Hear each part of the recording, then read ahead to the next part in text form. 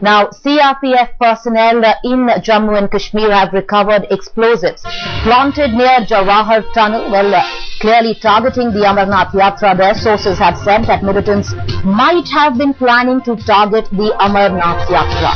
CRPF IG has said to headlines today that uh, the possibility that the Amarnath Yatra was to be targeted cannot be ruled out just yet. Large numbers of pilgrims are currently on the annual Amarnath Yatra which lasting another few days more. And the latest is that the CRPF has recovered a large amounts of explosive from the Jawahar tunnel. Now the IG of the CRPF has told headlines today that at this point of time, the fact that the terrorists were planning to target uh, the Amarnath Yatra cannot be ruled out. Shuja, my colleague standing by getting us the latest. Shuja, the IG there telling you that uh, the Amarnath Yatra could have very well been the target of the militants here. Well, that's right, Preeti, and that's the shocking revelation that uh, we're just bringing about.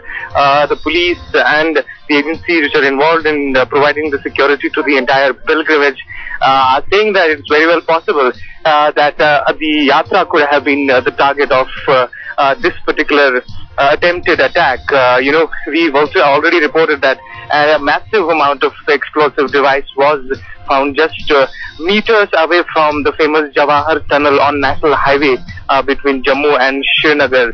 Uh, the IG very clearly said that uh, they uh, anticipated it and that's why they had heightened their mm-hmm. vigil across this entire region and uh, the night patrolling was also conducted and this was the result of one of the night, night patrols that they could detect this particular explosive.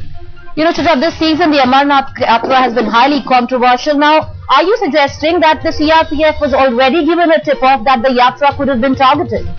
Well, that's what it is. It, it looks like uh, because uh, when we spoke to the chief of the CRPF here, he said that we uh, I did anticipate that uh, some elements could try and uh, create some sort of a ruckus or, uh, or could mm-hmm. resort to attacking uh, the, the, the Yatra and that's why we increased our visual across the entire region and that's the reason why they could also detect uh, this explosive and if it uh, was not detected it could have been a disastrous uh, attack exactly. Exactly